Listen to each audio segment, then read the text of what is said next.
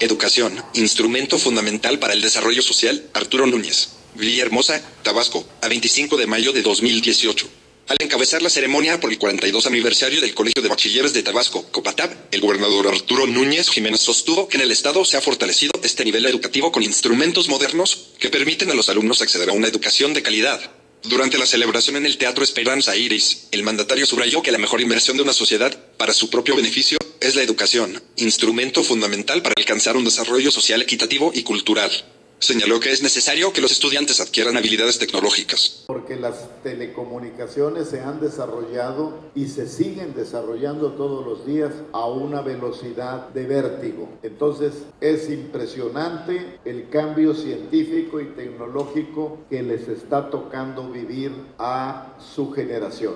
Por eso quisimos que desde temprana edad tuvieran acceso a una tableta electrónica y que tuvieran contenidos educativos. Por eso hemos querido fortalecer con instrumentos modernos este nivel particular del sistema educativo mexicano acompañado del director de este subsistema, Emilio de Igartua y Monteverde. El jefe del Ejecutivo entregó reconocimientos a trabajadores del COVATA por 10, 15, 20, 25 y 30 años de servicio, así como a directores por el ingreso y promoción de centros escolares en el padrón de buena calidad del Sistema Nacional de Educación Media Superior. Junto al secretario de Educación, Ángel Solís Carballo, el gobernador Arturo Núñez también reconoció a ganadores de la Semana COVAFES 2018, en la que participaron 2.175 alumnos en disciplinas académicas, culturales y deportivas, a quienes exhortó a mantener la confianza en sí mismos.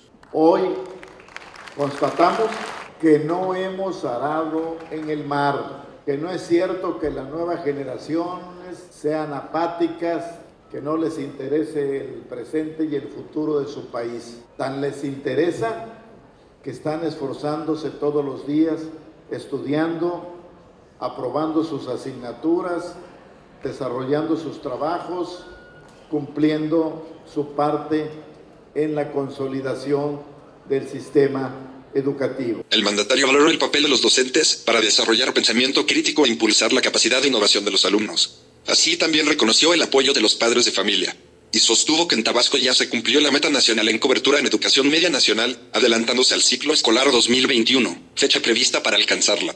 En tanto, el director del COBATAB, Emilio de Igartua, señaló que el trabajo articulado de directivos, docentes, alumnos y padres de familia ha permitido que en la institución se tengan resultados favorables desde su fundación.